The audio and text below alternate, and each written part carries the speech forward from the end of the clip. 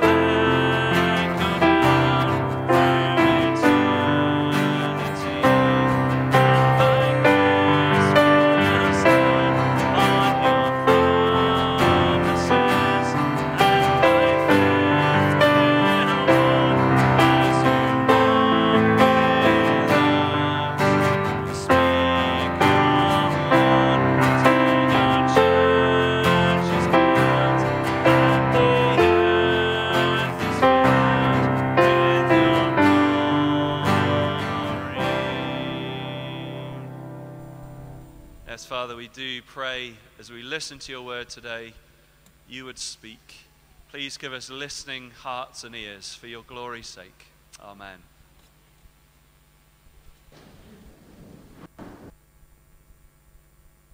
Okay, Jenny's going to come and bring today's reading. Thank you.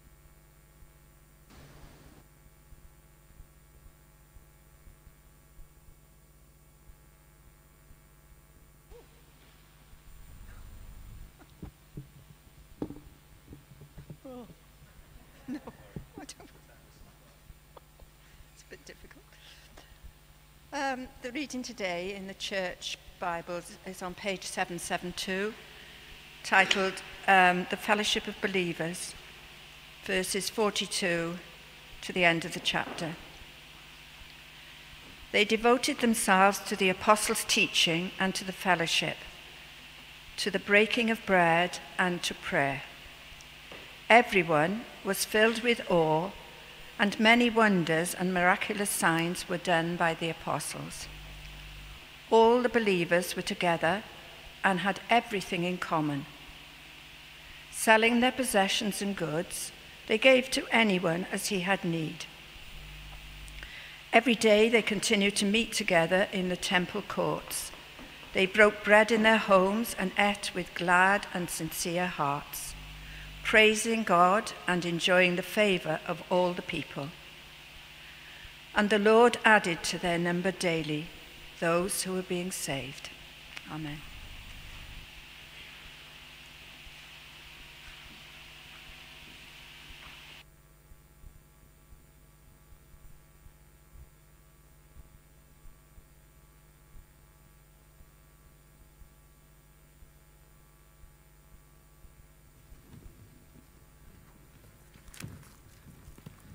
Okay, let's pray again before we look at that together.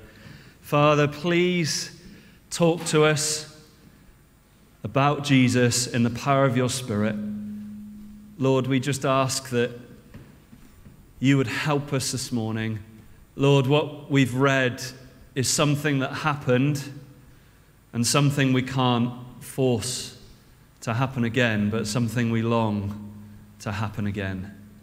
And Lord, we just ask you would help us as a church, Lord, to be the people you've made us to be. And Lord, if there's anyone here who doesn't know Jesus as their Savior, please speak to them now, we pray. Amen.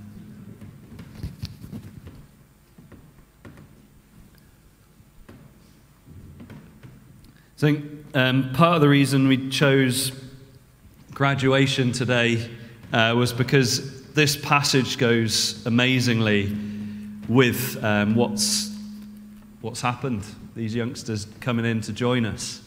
Uh, it's an incredible thing that happens here, isn't it? I'm sure it's a familiar part of the Bible to lots of us. Um, but just a quick recap the church in Acts take up Jesus' baton. He's handing it on. Go and make disciples of the whole world. Big task, isn't it? Big mission, big baton, the whole world. And I will be with you. How's he with us when we can't see him? The Holy Spirit. And Jesus says, having the Holy Spirit is exactly like having him living in our hearts and the Father too, so full of the fullness of God. And we saw, first of all, as the church took up the baton in Acts, they needed power, didn't they? Power to be witnesses. We saw that. Last week, we saw they needed vision to see what Jesus was doing, that he was opening up the whole world like a big harvest time. And that anyone who trusts in him will be saved. He's reversing the curse of Babel because we can join around Jesus. It's the only place where all of humanity, all of mankind, can join successfully and it works around Jesus, around the cross. And this week we're, we're moving on. So, the part Jenny read, what happened next was this devotion. They devoted themselves. Now, we all, I think we all know what that looks like, don't we? If we see someone who's devoted, we see someone who's maybe sacrificed something to be with somebody else. They've given up something to join themselves because they love that person more than that other thing, isn't it? And they devoted, you can say they're loyal, wholehearted. They're just 100%, they've given themselves 100% to that person or to that thing, whatever it is. We all know what it looks like. And it was such a different life that these Christians, this church, were living compared to the world around them. It was an amazing life, wasn't it? What Jenny read, like, wow. And everyone sort of looks up to that time in Acts. They're like, if only it could be like that today, that would be so amazing. They knew tastes of heaven on earth, isn't it? As, as a church meeting together, they were united, they shared all their stuff. If some of the richer members sold what they had to provide for the poor, so there was no one who was poor, no one who was extremely rich. They shared everything, they ate in each other's houses, the church was growing. A taste of heaven on earth, such a different life to the world around. They devoted themselves. But there has been loads of confusion about this part of the Bible. I've heard of people who see what's written and then say, I have to try and live like that, like it's a command. So, in other words, I'm not allowed to have any stuff. I feel guilty about owning anything, and I'll try and sell it all, and I'll try and copy what happened here, and I'm not allowed to sort of own anything. Or, and I've actually seen this, someone saying, This means I can walk into your house and just start using your stuff, making myself a coffee, taking your stuff without me even asking. Because we're brothers, aren't we? We love each other. So people sort of take this almost as a prescription, if that makes sense, that this is what Jesus is telling us we should do, commanding us to do. But it's not, first of all, that. It's a description. In other words, it's saying, this is what happened. But let me come back again. All through the Bible, Jesus does prescribe that we live like this. So I know it's a bit confusing to start with. He does say we should commit ourselves to a church if we're a Christian and be a member and celebrate communion and come and pray together and eat in each other's homes and, and make sure we're joining morning and evening on a Sunday. All those things he, he, he does command us to do. But this, the devotion that's meant to lead to us doing these things can't be taught, if that makes sense. I can tell you to do it, but you won't do it unless something happens.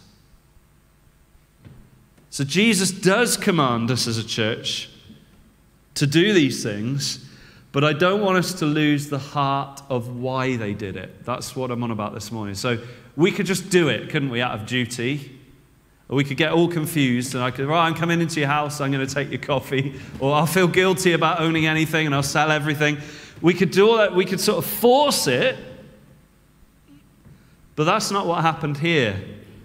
They devoted themselves as a result of something else. They devoted themselves because of something amazing that had touched their hearts, their souls, their very lives, their minds. They'd completely changed as people.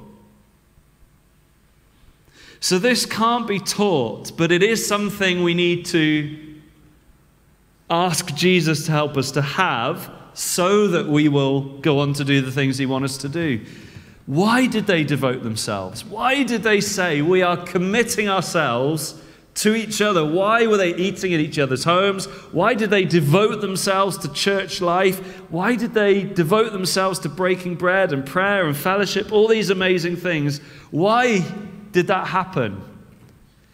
Well, last week we talked about the wonders of God, didn't we?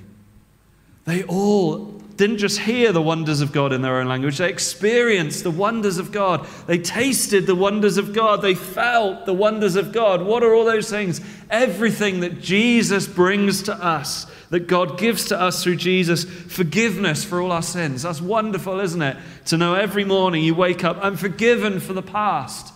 I'm not condemned anymore by what I've done and said in the past. It's gone, it's been taken away. I'm clean. Jesus cleans me by his blood. That's, that's one of the wonders of God, isn't it? I can walk around with a clean conscience when I come to him and he cleans me up. I'm loved wherever I go. That's wonderful, isn't it? The wonders of God. I'm loved, infinitely and unconditionally loved, no matter who I am, what I've done. God loves me, and I know it because Jesus has died and sacrificed himself on the cross for me. And all of this, many, many more things, isn't it? All the wonders of God, the very life and love and light of God had come into their hearts and souls and minds by the power of the Spirit and totally changed them. Now they have God's forgiveness. Now they have God's help. Now they have God's comfort. Now they know God's life. Now they know God's power, God's love and light and guidance and everything they need. And it's incredible. And because of Jesus working in them on that great day, they started loving God for the first time in their lives and, and each other. They got stirred up in their hearts by the Holy Spirit. They were moved to do it. And because they were so moved by all the wonderful things that God had done through Jesus and the power of His Spirit for them, they devoted themselves.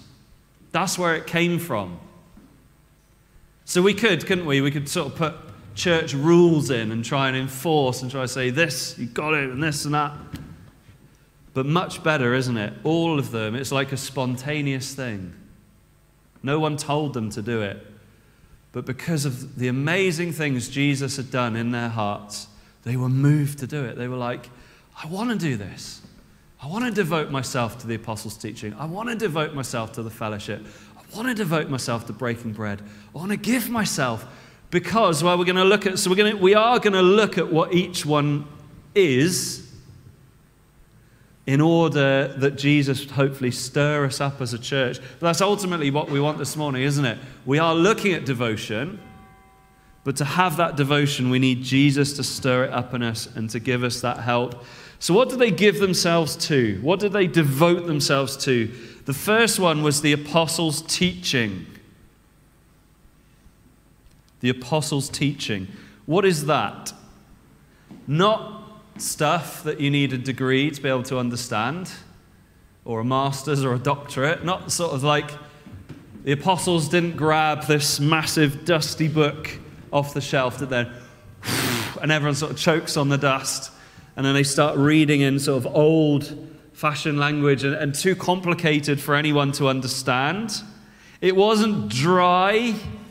Like teaching, you know, I know some of you in school might say, Oh, I really struggle with my teacher because what they do, they don't really even love what they're teaching. It, it comes across a bit dry, it's a bit boring, it's a bit lifeless, it's a bit cold.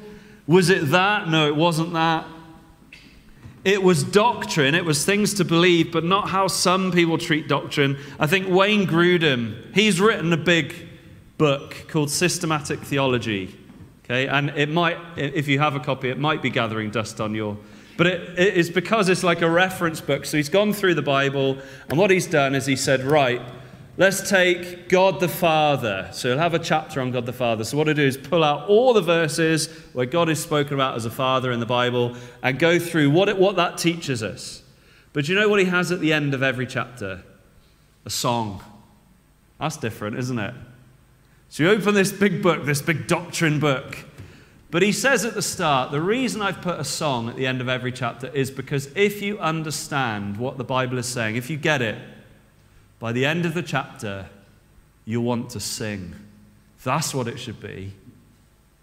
And see, he's always put sort of not put that guilt trip on you. So I hope I understand it. I hope I do sing. And the songs he cho- chooses at the end of the chapter are often so great. So he might have something like God the Father. It's not just boring, dry facts, is it? What he, what he has, says is God the Father. What it means is he's always been a father, always been the father of Jesus. He knows how to love, he knows how to provide, he knows how to care. And the amazing thing is, as a father, he's willing to adopt you into his family, and you can call him your father just like Jesus does. That's a tiny little bit of what he says. Doesn't that make you want to sing? I can't remember the song he puts at the end of that chapter. Maybe I should have looked it up. But when, you, when that sinks in, isn't it? Real teaching, real preaching should make us want to sing, isn't it? I'm loved. I'm cared for. I have a Father in heaven who can provide everything I need. So the apostles' teaching, that's what it was. What was it about? Well, I think it's summed up really well. Have a look at verse 22. This is Peter, and he stands up and he says, Men of Israel, listen to this. So he says, As an apostle, I'm about to give you some teaching. What is his teaching about? Listen to this Jesus of Nazareth. That's where he starts his teaching. Now, that's incredible, isn't it? You can sum up the Bible's teaching. In fact, Jesus said, Moses wrote about me. First five books, they're about Jesus. Jesus says, doesn't he? He goes through the whole Bible in Luke 24 with those two disciples who are down and depressed. And he says that he chose them all in all the whole Bible, every passage that's about him. And that's what Peter says. He says, This is where we're going to start. This is where we're going to carry on. This is where we're going to finish. Let me tell you, my teaching is this Jesus, Jesus of Nazareth. Listen to him. Listen about him. Why Jesus? Why not sort of, uh, let's just sort of talk about God first and try and imagine what he might be like? Well, because we don't need to. Jesus is the image of the invisible God. And he is everything God is in the flesh, if you like. So you look at Jesus, Jesus says that, doesn't he? Show us the Father. And Jesus says, You've seen him. If you've seen me, you've seen everything. You've seen the Father loves. You've seen the Father's merciful. You've seen he's forgiving and compassionate and he's just. And he, he does get angry, but he's really slow to get angry. He doesn't like judging, but he will if it is necessary. And, and Jesus says, If you've seen me, you've seen him. That's why Jesus is at the center of everything we do as a church. Jesus is our hope, isn't he? He is our forgiveness. He is our righteousness. He is our Savior. He's our Prince of Peace. He's the one who's paid with His own blood for our sins. He's the one who all of God's blessings come through. God the Father always shows, isn't He? When He says, This is my Son. When He's baptized, when Jesus is baptized, listen to Him. I love Him. So we're not talking dry stuff, high intellectual stuff. We're talking Jesus. And no wonder they, they devoted themselves to that teaching, isn't it? Because they're like, well, we know Jesus. We've just got to know him for the first time. We've just heard his voice. We've just known his forgiveness. He's our Savior. No wonder they devoted that. They were like, we, we need to devote ourselves to this teaching. Every opportunity we get to listen to the apostles' teaching and to open our Bibles together, we're going to be there. Morning, Sunday morning, Sunday evening, prayer meeting, men's, men's meal, ladies' meal, whatever it might be. We, if we can, we're going to be there because they know it's another chance to get to know Jesus better. That's what this morning is, isn't it? Listen to this. This is basically every single one of my sermons and Brian's sermons, is basically people of Bethel, listen to this Jesus. If you want to sum up every sermon, isn't it? Is that all you've got to say? That's all we've got to say. But in Jesus, isn't it, is packed everything that God is. And as we unpack it, you get to understand who God is. You get to know Him better. You get to know the help of His Spirit. That's why it's Jesus. There's a difference, isn't there, between being told about somebody and meeting that person for yourself. A few years ago, we played football as, as, as a church. Clive will remember. I think he, he played, um, and others. We played against my old church in Swansea. I can't remember if Brian actually, did you play in that match?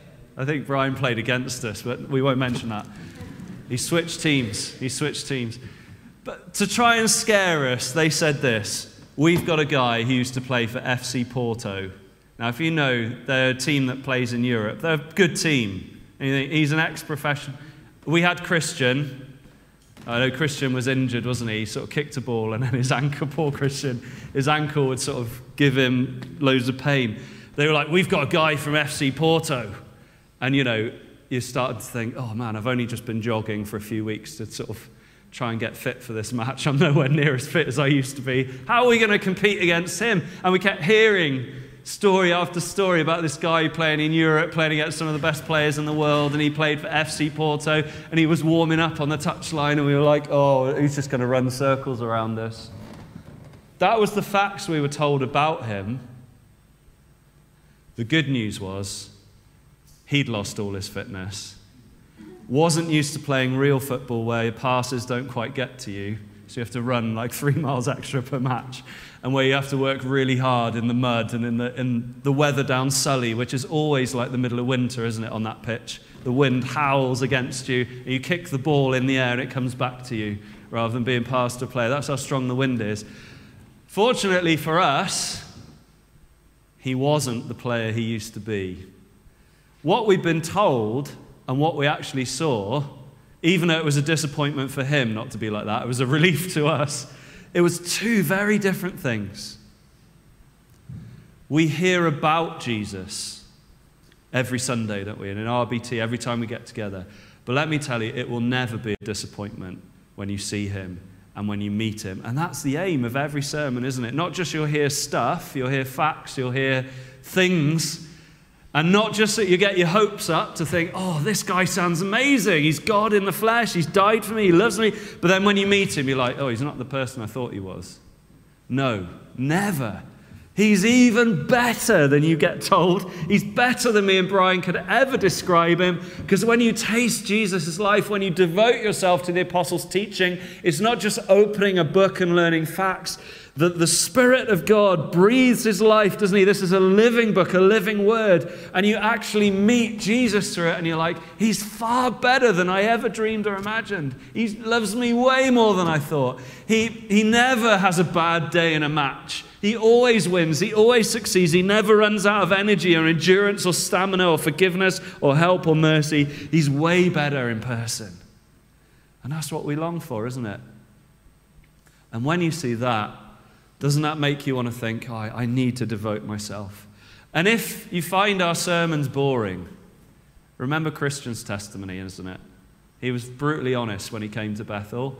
He said, I'm going to give it one more Sunday with Carla, and if nothing happens, I'm going.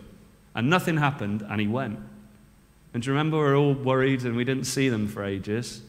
And then he came back a couple of months after and he said to me and Merv, Is someone, is someone giving you preaching lessons? It's very uh, brutal, isn't it? But what he said was, Now it all makes sense. See, there was nothing there before, it was just boring. If you think our sermons are boring, pray for me and Brian. Pray that Jesus would speak to you through them. And if you're seeking Him through them, He will speak to you. And it's like, for want of a better phrase, it might change from hearing nothing to like someone's given us preaching lessons. Because what's happening now, Jesus is speaking to you. We need to devote ourselves to the apostles' teaching. Next one, the fellowship. This does mean becoming a church member, but it's more than that. When we use the word fellowship, isn't it? We're talking about friendship, companionship, family life, so more than one person friendship. And there's one friendship, there's one fellowship that's better than any other friendship, any other fellowship. And it's the one that's been going on forever. It's the friendship, the fellowship that the Bible loves to speak of of Father, Son, and Spirit. One God, three persons there, share the Father and Jesus eternally sharing the love and fellowship and communion of the Holy Spirit. Forgive my, it's hard to explain, is it? Hard to understand, but that's how the Bible, that's how God presents himself. And Jesus says things like this Every day I was I delighted in your presence. He looks at the Father he's like, I just love being with my Father. I love being devoted to him. I love being in his presence. I delight. I can't wait to hear what he has to say. I love being with him. And as he pours out the Spirit, as he gives that life and love and shares it all with me, and I carry out his work. I love it. And the Father looks on his Son and he says, This is my Son in my love. What a fellowship, isn't it? What a friendship. It can't be broken. What a thrill. And you, and you look on, have you ever been jealous of someone else's friendship? Maybe in school, isn't it? You feel left out. You're like, I wish, wish I could be part of that group. Wish I could be part, I wish I could be friends with them. They're all popular. Look how they laugh. Look how they have such a good time. I just don't feel like I belong anywhere. I need fellowship. I need that friendship. What a friendship to hold up, isn't it? Father, Son, and Spirit. Eternally friends, eternally in this unbreakable, loving fellowship full of light and love and acceptance and everything. Well, the amazing thing is, the day you trusted in Jesus, you were taken in to that fellowship. Isn't that an amazing thought? You are friends with them. You are friends with God. Remember Abraham? He was called a friend of God. You're like, I wish I could be part of that group. I wish I could be part of their life. The amazing thing is, if you are a Christian, if you trust in Jesus, you already are. It doesn't matter who else sort of looks at you and says, oh, I don't want you, I'm not talking to you. Jesus has always got time for you, and you are part of that amazing fellowship already. 1 John 1 3 says this We declare to you what we have seen and heard, so that you also may have fellowship with us. And truly, our fellowship is with the Father and with his Son, Jesus Christ. He says, We tell others about Jesus so they can have fellowship with us. But really, where is that fellowship? It is with us, but it's, it's much better. It's with God Himself, with the Father, with His Son Jesus. And as we meet together, His Spirit helps us to cry, isn't it? Abba, Father, Father in heaven. It's so amazing to be sharing His life and His love and His light. That's who we are as Christians. I read an amazing thing. A good Scottish preacher, Alistair Begg, read, uh, he, as he preached on this, this is what I read. Before, before we do it, sometimes we're tempted, aren't we, to be in church like, oh, no one's the same as me. No one understands me. No one's my age. I think particularly the younger ones get a bit trapped in that, isn't it? What you mean is there's no one who was born on exactly the same day, exactly the same second as me, therefore I can't have anything to do with them. And they wouldn't want to know me anyway because they're really popular and I'm not. And we get all grumpy, don't we, sometimes? I'm the oldest one. I'm the youngest one. I'm the middlest one. I'm, I'm the poorest one. I'm the one who hasn't got it all together. Listen to this. He said, There's an 80 year old in church, and they're sat there on a chair on Sunday morning. And there's a 17 year old in church, sat on the other side of the church building. He said, through the preaching, through the apostles' teaching, that 17 year old needs to realize they have more in common with that 80 year old than they do when they're stood with their peers in college, with their mates, laughing on their phones, on social media, whatever, feeling this is where I really belong. He says, No. You have more to do with that 80 year old in church and the other way around. Why? Because there is something stronger that joins you together in fellowship than just natural friends or even family. It's Jesus, isn't it? Jesus, that fellowship. And, and we're like, wow, what a thrill it is to be a Christian, isn't it? So he's saying that 17 year old, when they get this, when they understand, as they sit together with the 30s, the 40 year olds, the 50 year olds, 60 year olds, 70 year olds, 80 year olds, 90 year olds, we've had someone 104, so we have to go up that high. Maybe we'll have someone older in the future. 104, the oldest member of Bethel at one stage.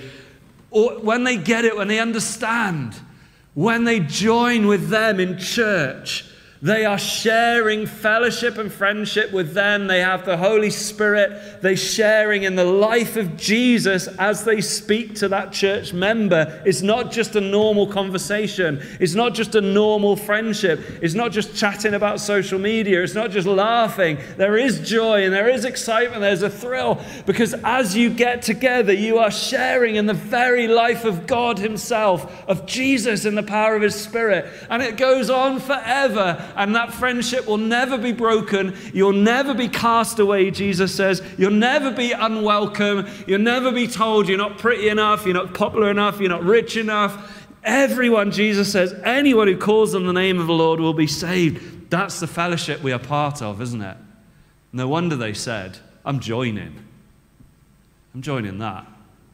That's incredible. I don't want to miss out on that. And hopefully that's stirring your heart, isn't it? The life of Jesus is stronger than family ties, isn't it? If you have family who are not Christians, I'm sure you felt sometimes, isn't it? I feel closer with other Christians than even them. Why? Because there's something eternal, there's something that lasts forever at work in you, isn't it? And it's, it's amazing to stand shoulder to shoulder. Just pray that Jesus would open your eyes to see they're not, they're not another 80 year old just sat there. There so you can share in the life of God. That's awesome, isn't it? Awesome thought. What fellowship. Teaching Jesus of Nazareth, fellowship, sharing in his life. Let's do the next one the breaking of bread. This isn't just communion, as in we'll eat bread and have a bit of juice or wine together. Later on, here, isn't it? It says they broke bread in each other's homes. They ate in each other's homes. So I think it's wider than that. I think it's this hospitality. In order to break your bread with someone, you have to be willing to make room for them in your heart, don't you? Because what you're doing, you're sharing what you have with them. That's, that's the offer, isn't it? We sort of forget that when someone invites us around, isn't it? We're like, oh, food, amazing, this is great. We forget is that they've, they've gone to a lot of effort. Perhaps they've struggled with us in the past, I don't know. And they've, they've said, oh, I'd love to have you over. What's happened is this, isn't it? They've had to make room, before they've had to make room for you around their table, they've had to make room for you in their heart. And what they're doing is they're saying, hey, come over. We'd love to share what we have with you. And it's amazing, isn't it? When we get together as Christians, I know the men felt it yesterday. You know, as we shared, it wasn't, well, there was some bread, but there was lots of other meaty bits as well, wasn't there? And veggie bits, go remember that. But it was, it was amazing uh, just to see making room for each other in our hearts. Hospitality, isn't it? What does Jesus do at the communion table? Isn't he doing exactly that? As the bread is handed out, he's offering you a piece of himself, isn't he? He's making room at the table for you. He's saying, I know you've sinned. I know you failed this week. I know you feel lonely. I know you feel dark. I know, you, I know you're tempted terribly. I know you're in pain. I know you're in agony. I know you're worried about the future. I know you feel dark. I know all these things. And yet he says, There's room here for you. I'd love to share some of me with you. That's what Jesus is doing at the communion table, isn't it? It's meant to feed us. There's a piece of me, Jesus says, for you, no matter who you are, no matter what you've done. And if you're not a Christian this morning, that's what Jesus is offering you forgiveness and life and help and everything you need. Breaking the bread. He says, This is my body. Literally, this is me. And it has broken me to be able to share with you. But I'm so willing to do it. There's room for you in my heart. There's room for you around my table. There's room for you forever. They devoted themselves to that breaking of bread, hospitality, eating together, sharing their lives together, sharing their time with each other. And what did they look like? They looked like God to the world looking on. That's what they looked like friendship, fellowship, hospitality. They were one, we're told in Acts 2. They were united. They were joined together. And, and because of that, they had love. They devoted themselves to breaking of bread, to that hospitality. They forgave each other. It wasn't they were perfect. It wasn't they didn't sin. It wasn't that they didn't annoy each other, but they forgave. They spoke. They put things right because they saw Jesus had died and they had that room in their hearts for each other. And it took a lot to tear them apart. Becca's been working on some projects for the craft fair made out of pallet wood. Have you seen all these pallets that people put outside their houses? It seems like a great idea at the time, doesn't it? So we've been, whenever we see one in Barry lately, we've been like, if it says free on it, some people like to keep them, don't you? See, like, do I take it or not? But the ones that say free, we've been saying, oh, okay, we'll have that palette. Becca's like, you can break it up for me and put it together and I'll paint on it. Has anyone ever tried to break up one of those palettes? Man alive. They are hard work to tear apart. Some of them have nails really thick, and then they bend them over at the end, almost like they don't want it to come apart. It's not designed to come apart, is it? It's not meant to come apart. And there's me with my, probably, uh, you know, you're all going to laugh. I got the wrong tools, isn't it? My hammer and my chisel and all this stuff, trying to lever it apart. It won't come apart. And often the, the wood breaks before it comes apart. What a great picture of church, isn't it? You're not meant to come apart. You're not meant to split up and break up and come apart. Jesus joins us together, and we've got to keep making room for each other in our hearts. But as we do that, you might think, oh, it's a lot sharing my life, being vulnerable, making room in my heart for other members, sharing our lives together. It is hard, it can be painful, it does go wrong. But what does it look like? It means we get, every time we sit down together, through those people, through those other church members who are preparing that meal or whatever it might be, when we break bread or eat biscuit or have a cake, what are, we, what are we reminded of as we see them saying, Sit at my table and eat? We're reminded that God makes room for me. That's what you're meant to see every time there's hospitality. Jesus, Jesus has made room for me. I don't deserve that. That's an incredible thing. Then, prayer.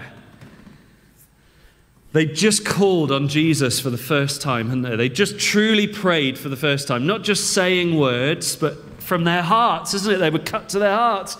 We had a hand in Jesus' death. Our sins caused his death. It was me, like we did last week. And they prayed. They prayed from their hearts. They were cut to their hearts. They were forgiven. And God answered them. They were saved. They received the Holy Spirit. And that's what a, a relationship is, isn't it? If you ever go to a restaurant and you see a, I don't know, a husband and a wife, and they're sat, oh, I'll pick on my grandparents. My grandparents used to get their deck chairs out of the boot of the car and sit miles apart. I don't know why they did that, but you know, being a young boy, you always asked, don't you, why did granny and granddad sit apart? Is there something wrong? Have they had a fight? Have they had an argument? No, that's just what they did. But looking on, you think there was something wrong, wouldn't you? You think, well, and maybe those who are a bit older, you understand, I don't know. But that's, that's what they did. You think if they're not communicating, if there's not words being said, if there's not emotions and feelings between them, you think there's something wrong. A good relationship. Now, they did have an amazing relationship, so I still don't understand why they did that. But they had an amazing relationship. Lots of words, communication, looks, emotions. That's what prayer's meant to be, isn't it? And prayer can be hard work sometimes. Sometimes we're empty, sometimes we don't know what to say.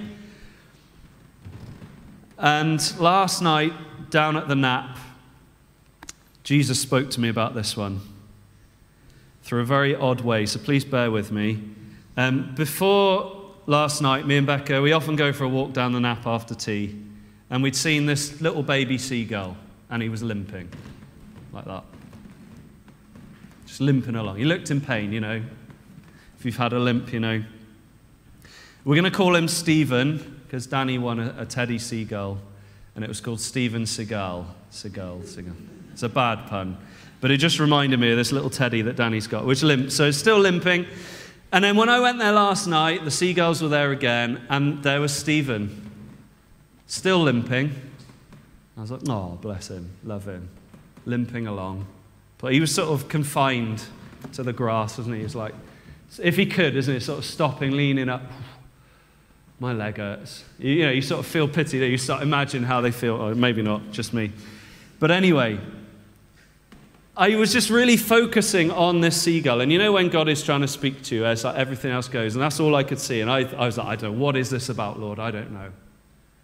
As I went down to the end of the Knap, and there's that green hill, isn't there? I saw something that was so different. There was a bird of prey. I've not seen one of those down there.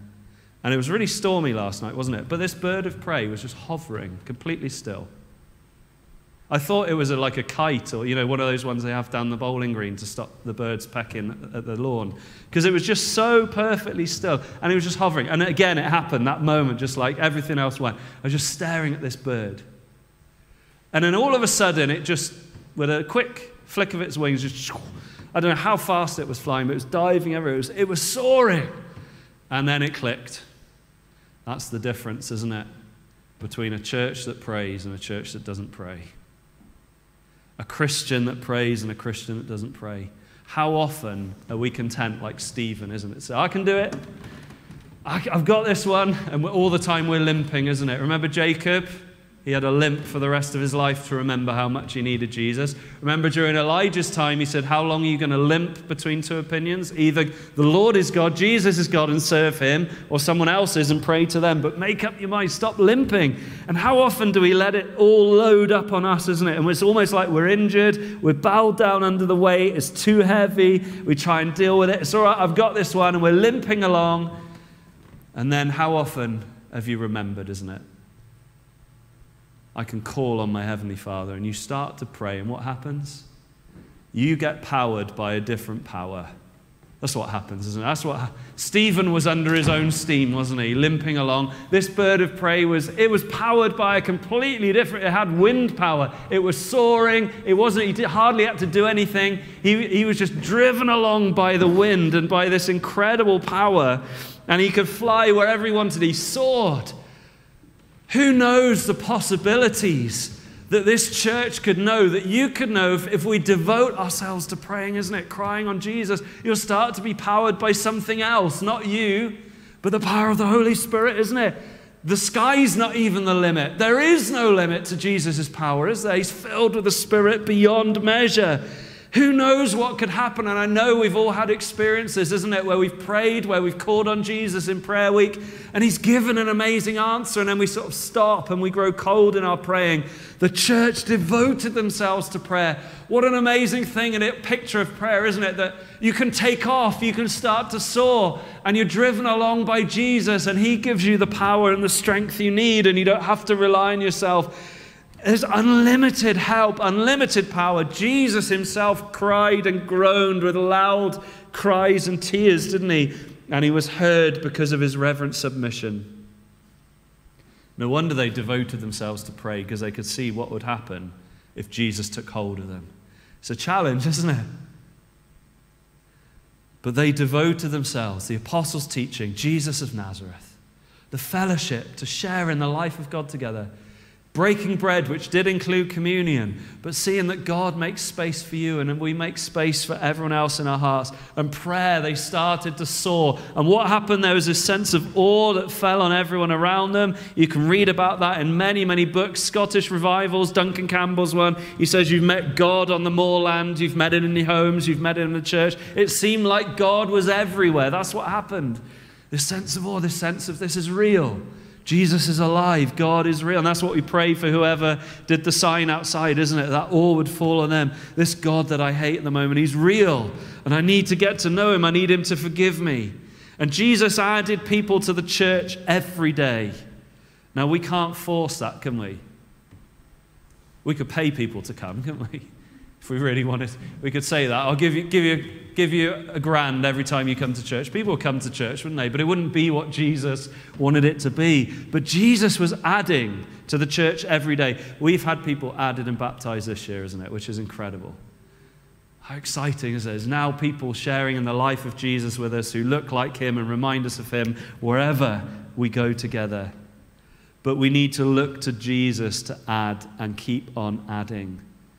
And every time it's like a fire, isn't it? Another coal is added to the fire. The fire burns brighter. There's more devotion. Then another coal is added, and the fire burns hotter and brighter.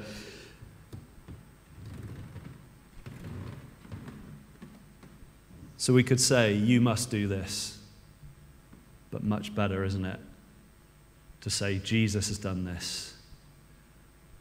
How could I not devote myself to that, to Him? So let's pray. Father, we thank you for the devotion to you we, we can see in Acts and the results. Lord Jesus, we just pray as a church you would help us to have this devotion, not forced.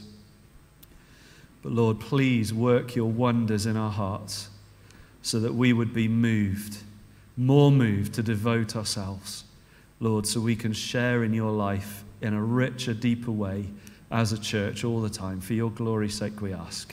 Amen. We're going to do something slightly different to finish. It's a bit of a throwback to lockdown. We're going to sing our last song from a video um, that uh, Adrian prepared for us in lockdown. But because of the song, When I Survey the Wondrous Cross, it's talking about when we look at Jesus' love we realize His love demands our all. So let's just, as we sing this together, let's pray that, isn't it? That Jesus would give us that devotion.